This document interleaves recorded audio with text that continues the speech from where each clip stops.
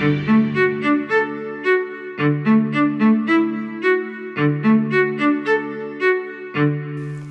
I'm Päivi a Finnish artist and art instructor. And this time I want to talk about the issue when people say that they feel disconnected with their art. Uh, many say that they have taken a lot of classes and they have created a lot of art and they still feel the disconnection with their result. And some say that they feel the disconnection and they don't even know if they've produced good work or not. About six years ago, I wanted desperately find my style, so I took a pattern design uh, online course and one of the first assignments there was to go out uh, and take some inspirational uh, photos and then create a, a motif based on those photos. When I took my camera and went out, I kind of felt this, the disconnection already. I took the photos but uh, it didn't really feel good. And when I came back, I, I did the job, I designed the pattern, and um, uh, it didn't it it really didn't resonate with me. And then of course i shared it with the class and i waited for the comments and i got some but whatever people said it didn't really it didn't really resonate with me because i wasn't it it, it felt that uh, that the work was produced by somebody else than me I wondered if the design is so brilliant that I just don't get it, that it would need a specialist to know this, that. And then on the other hand, and the next, in the next moment, I thought that maybe the design wasn't that good at all. But because I felt so passionate about art, I kept on creating and I practiced and practiced because you know, people say if you will practice, you will find it. And sometimes I did produce something that I was quite happy with. And again, sometimes I felt really, really that, that I'm actually nothing at all. My progress was really slow and I wasn't satisfied with it. But then, a few years ago, I started to realize that uh, my imagination and my satisfaction are connected together. That if I can expand my imagination, then I also can connect with things that really bring satisfaction to me. I started developing ways to imagine and ways to use images and imagination to lead myself, to kind of build an art director that leads myself as an artist. And that way I discovered uh, things and values and ideas that are very different than how other people had defined me so far. I had to get rid of all the definitions that I had built around me and what other people had said about me.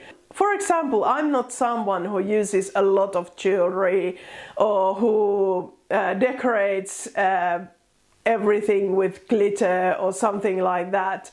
But then, when I used my imagination, there was a big sense of luxury that really, really resonated with me. And then I realized that if my art doesn't contain a bit of luxury, then I'm not satisfied with it. Another thing that I found through my imagination was drama and how I love it. I love strong contrast and I love to see something changing, big events, something dramatic to happen. And again, this was not typical uh, thing to notice because I live in a country where modesty is highly valued. We Finnish uh, like modest people and we try to tone everything down. And I now realized why I often got comments how I feel that I'm too passionate or too enthusiastic or that I should just calm down. And now I re also realize why it was so difficult to learn that and how it also blocked my creativity when I tried to be like that. I also realized that I love to take new challenges and that was why I often wanted to play with different styles and and I found that problematic that I wanted to play with all kinds of different things and then I should really focus and build myself as an artist.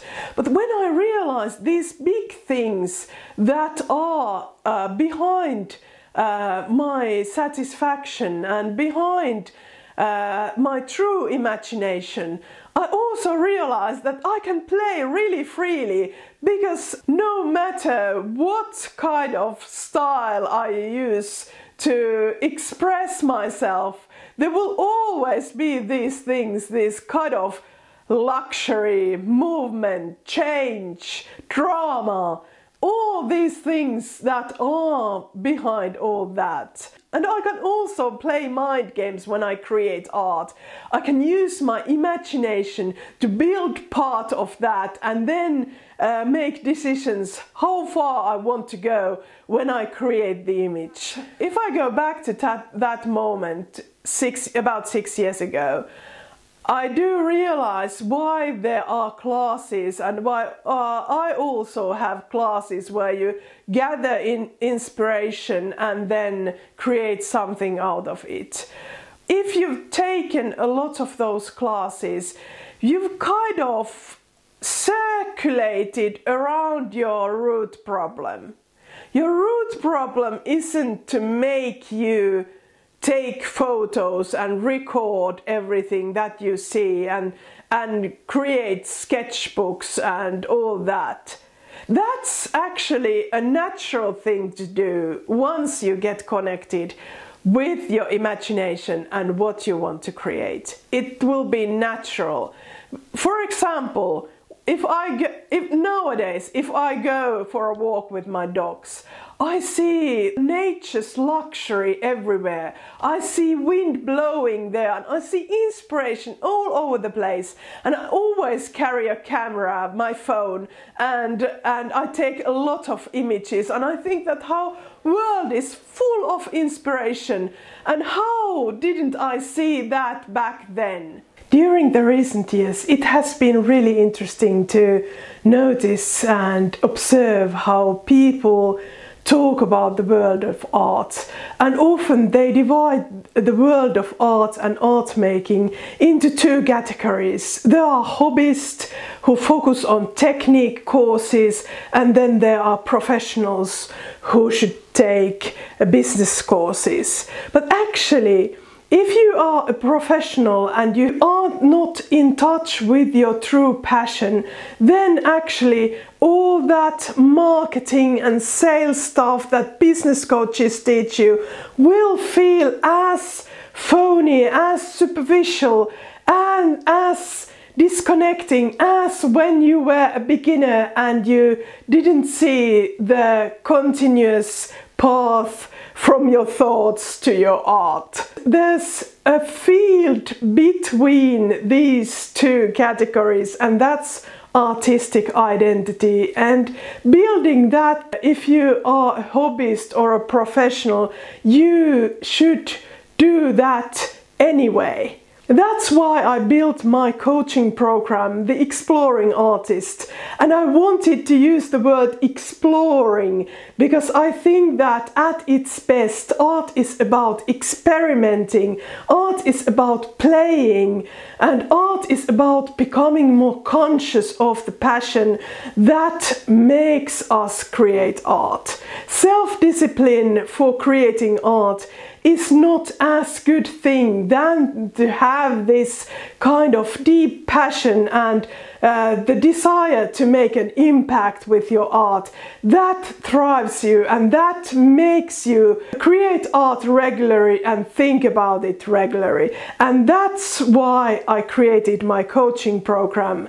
Uh, that also includes creative challenges. And why I included creative challenges, which are about the actual creating, is that I don't think we can only think and think and think and get insights by thinking. I think that we as artists also need to do the work in practice. Take the brushes, take the needles, take the tools, whatever you use when you're creating art, and use your hands to get those insights and, and to deepen those insights.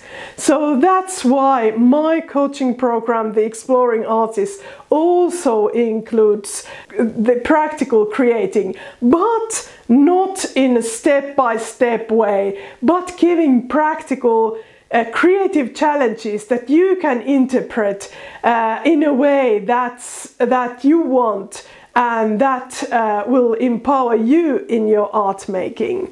We will also analyze your work and uh, focus on what you have been creating uh, recently and use that to also discover things that you might have not noticed so far. And because practice is really important to me, I also wanted to include some practical stuff in this video too. So now in the end of this video, I will take that inspiration photo that I took six years ago and translate it to a different kind of motive, a bit more complicated one that includes some of these elements that um, my true passion is about.